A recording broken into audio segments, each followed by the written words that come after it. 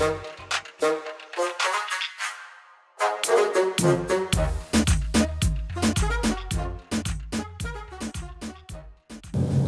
understanding of Barbell Lounge is that it's going to be it's going to be the best bridge between newcomers to the gym and elite performance training. Because so far there's such a there's a void where um, you have you have people that want to start start going to the gym and they they have very few options to train at places that have the specialist equipment. Some people find it daunting and some people find it anxious and that's completely understandable. Yeah, so my understanding of barbell lounges is it's supposed to be um, by creating a community within within the gym and within the brand, the idea is bringing newcomers and introducing them into elite performance and professional lifting and professional um, fitness goals that they might not be accessible to to say newbie gyms. Yeah, no, I think you've nailed it on the head there. It's like that's actually quite an interesting way of putting it, I guess, because if you think about gyms that have specialist equipment, you tend to feel like you have to earn the right to be there almost. Um, and if you speak to any operators that run a gym like that, they, they won't.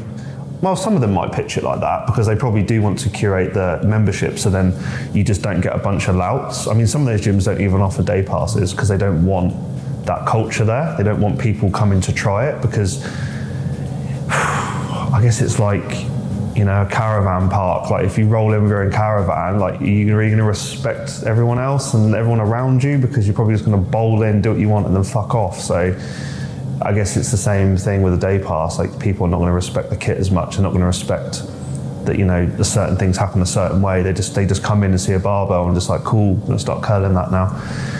So yeah, yeah, Barbell Lounge is supposed to bring, I think, bring all the elements of a really advanced gym culture and I guess a more um, well thought out gym culture and make it much more accessible to people that can't go to London or don't want to pay you know hundreds of pounds for membership. You know, a lot of these gyms exist in the States. They exist probably in Europe a little bit as well, but there isn't a lot of gyms here that are like what we want to do. So yeah, specialist kit, but also the community to make you feel like you're at home as well, and not just in a lab or a dungeon.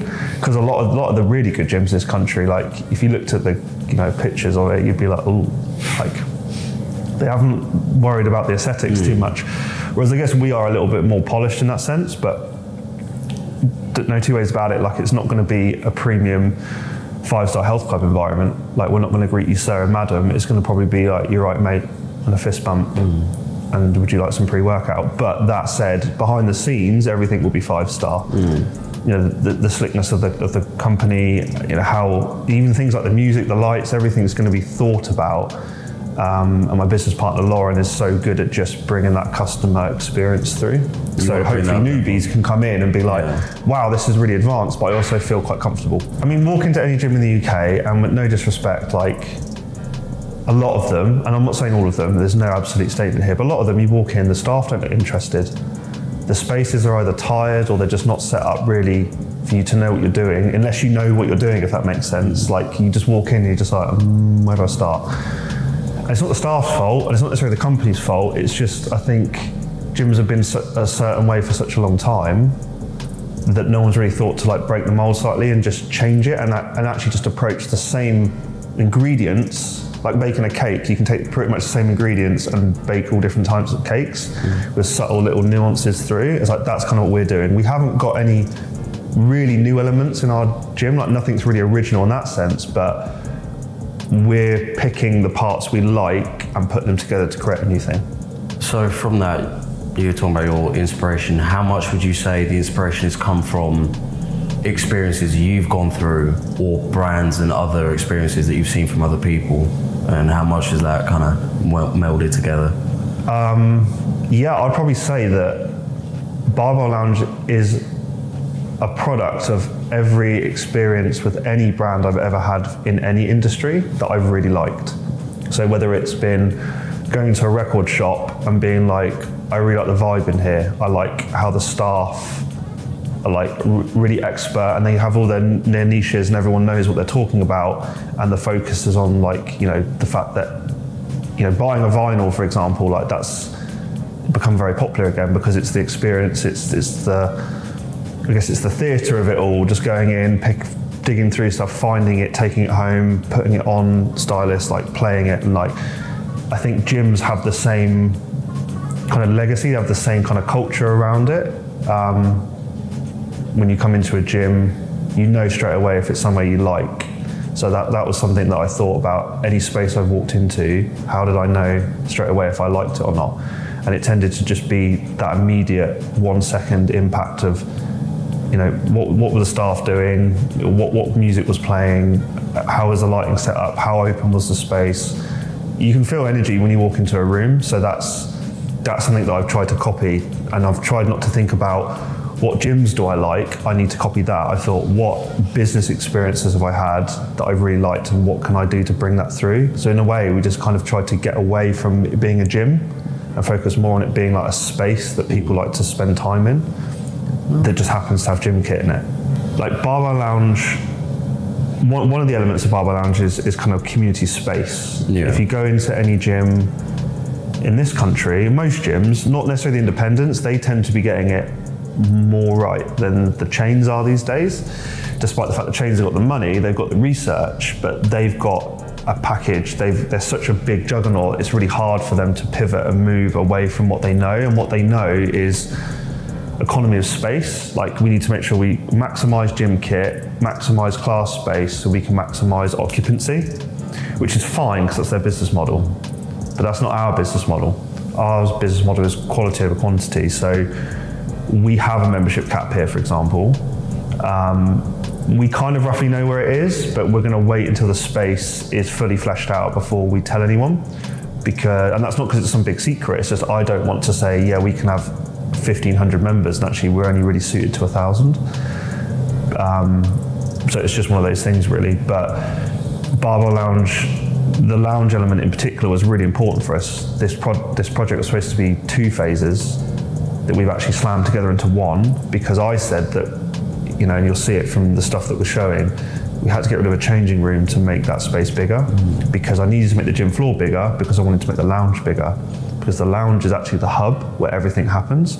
The gym floor is kind of where you spend, you know, majority of your time when you're with us training. But that said, because we want to change the culture, we want to change the behaviour of actually spending time at a gym before and after your session, which tends to happen on the gym floor more than anything because there just isn't any space for it. Whereas our gym would be set up for you to actually come and spend some time with us. Well, yeah, looking at the plans and everything, walking through the doors, you're first, you'll be first greeted with by the lounge, by kind of the uh, front of house, the bar staff as well, who are Yeah. doing all the shakes and whatnot. So that's your first, that's your first introduction to to barbell lounge before you've even seen any of the gym equipment.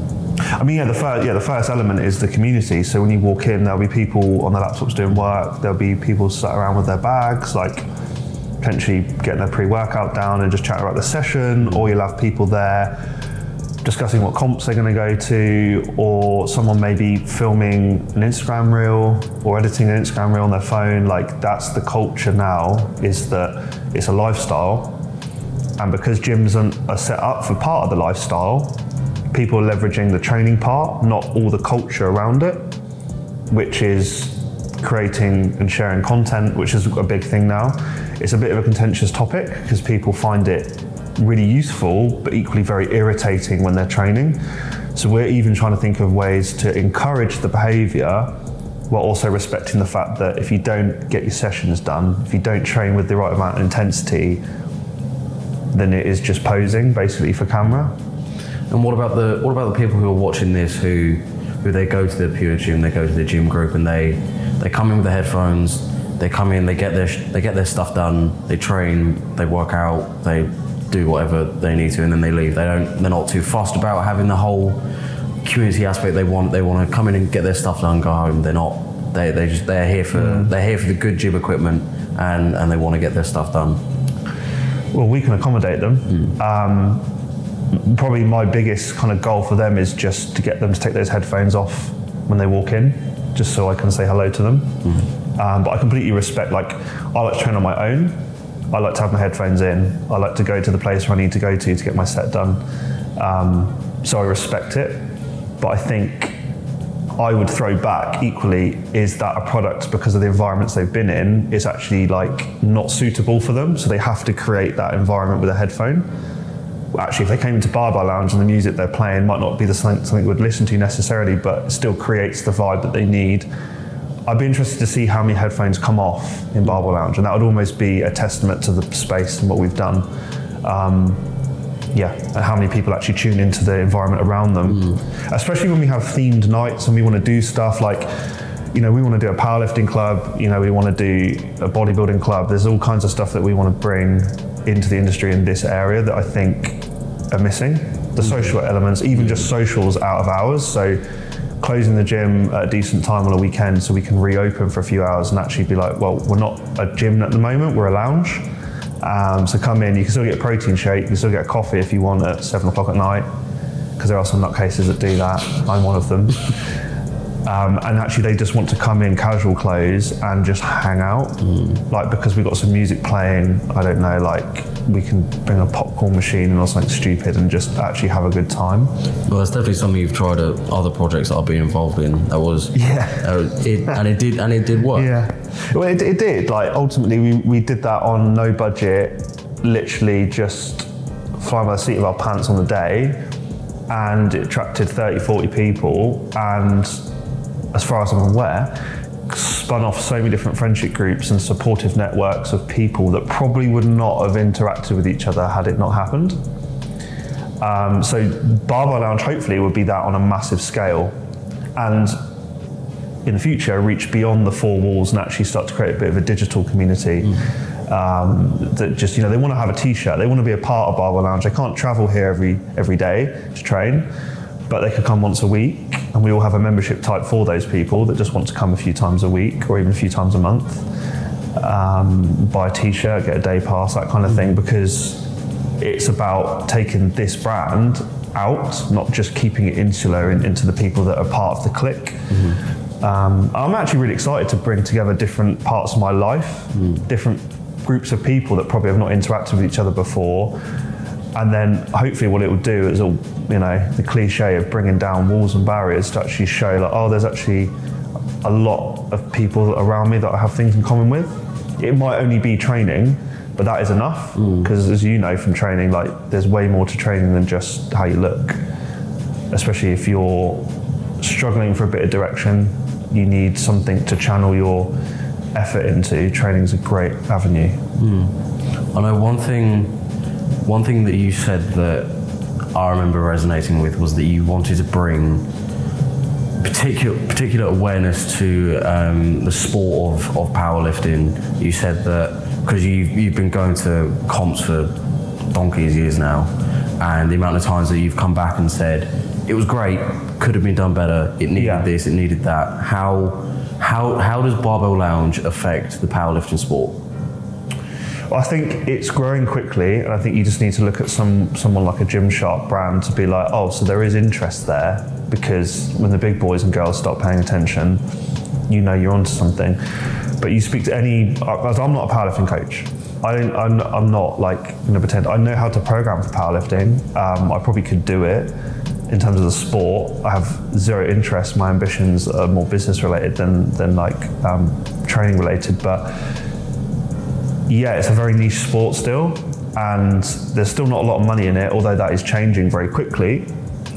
And I think just like how bodybuilding shows in the past used to be kind of like in town halls and community centres, wherever you could get a space to get 100 chairs into, now they're filling out arenas and actually getting big shows on. And these are still like, and there's no disrespect to the people that compete in them, but they're just like kind of like shows for towns like small venues and and things, but they're getting filled out. Like the, every category is getting filled out. Bodybuilding is quite far ahead of powerlifting in terms of the size of the sport. People still associate going to the gym with Arnold. They still associate it with Ronnie and Chris Bumstead and people like that. So that's why fitness will always have that kind of aesthetic sport drive and what people will align with it. That said, being strong and especially for women, being strong is, is now turned a corner, and I think a lot more people are seeing it as, as a positive, as they should do, and realise that being strong doesn't necessarily mean that you have to be out of shape and not feel sexy, not feel confident. So I have to say, like I think with with the brands jumping on it, with the consumer now becoming much more mixed in terms of age, gender, um, ability as well. Powerlifting now needs spaces to step up and be like, okay, now we need to provide the venue. We need to provide the grassroots, a bit like with football, really. We need to provide the grassroots so then people can get to like the Premier League mm. of, of powerlifting. Because at the moment, world champions are still training in pure gyms. And if you go to a pure gym, no disrespect to pure gym, they don't have calibrated plates, they don't have the bars. Depending on the federation you're in, they don't have a monolift. Um, they don't have a comp rack or bench. You're probably having some person screaming at you for taking too long to do your set. You're probably having to share it with a bunch of people that are just there to be seen and not there to work hard. And there's nothing there, there's nothing wrong with wanting to be seen and people to pay attention to you. A bit of vanity in your training is fine, like we all have it. But when you actually want to get something done and you're there to work towards it, it's frustrating not to be surrounded by people that take it seriously as you. And especially this actual spot we're in right now, this will be where all the powerlifting stuff is. This will be where our calibrated plates are, where all of our specialty bars, our racks, our comp benches, our deadlift platforms. You know, this is going to be the power pit, as someone called it earlier on Instagram. Um, this is going to be where maybe on a Friday night, the powerlifting club is and where all those people, whether they are competing in the IPF and are coming down to come and say hello and show support to the brand, or a 17 year old girl that's just like, I feel like I want to be strong, I want to be capable. Um, and then they can come into a place like this and be like, not only was it welcoming, but now I'm also surrounded by people who I aspire to, and they're actually really nice because they take it seriously, so they remember what it was like to be in my shoes, and then almost you just create this kind of, I guess, this casual mentorship of, of people, um, and then that just lifts the whole community. Like a rising tide raises all boats. So if people are here chasing excellence, then other people will take their training seriously.